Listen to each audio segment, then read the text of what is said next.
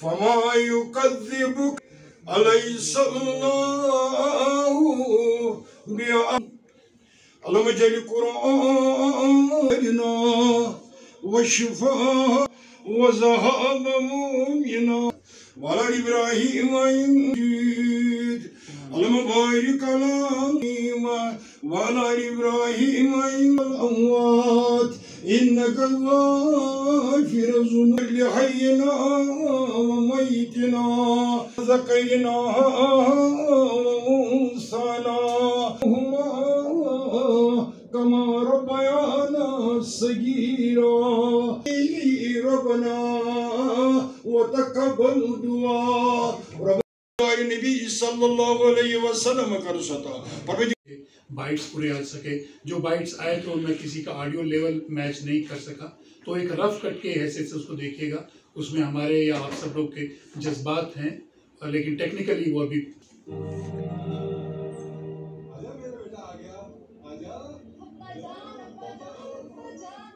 सहेली है मुस्कान मुझे एक बार राजेश खन्ना से मिला दो प्लीज़ मैं आपकी सारी बात मानूँगी पर ऐसे माहौल में जाकर राजेश खन्ना से मिलना भाई ये तो नामुमकिन है। चचा जान अब्बू जान के तो सौ बार मेरी जान सुनो मेरी बात मेरी बात सुनो पहले। इसको वहाँ चिपका देना। और वो जो नया कौन सा आया ना उसका इम्तहान ले लेना। ठीक है। इज़्ज़त बनाते बनाते एक उम्र गुजर लगी अगर बिगड़ जाए तो ज़िंदगी एकांत और बेईमानी होती रह जाए जिल्लत की ज़िंदगी से इज़्ज़त आओ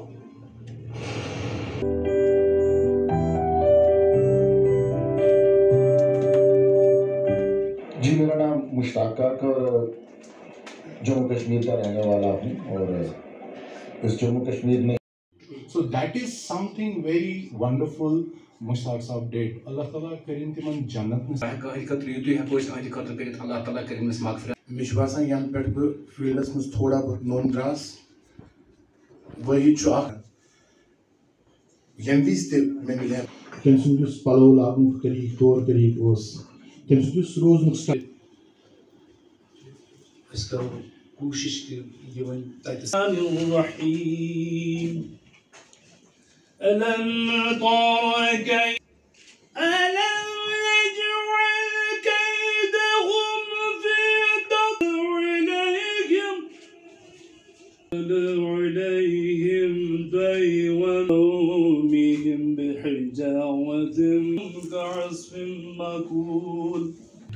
आशिक मुश्ताक सब समखे या फिर नशा नजरीर वारिया काम करा मैं क्या बताऊं मैंने भी आपने सुना ही है मैं इस बात को रिपीट नहीं करूंगा क्योंकि हम कलसी नीरज टंडन और मैं था।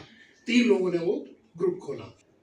और संबोध से क्या ज़रूरत कलसी को किसी प्रोग्राम में किसी प्ले में कहता दीजिए वो एटीजी का हमारा फाउंडर है सरे गुलशन चले।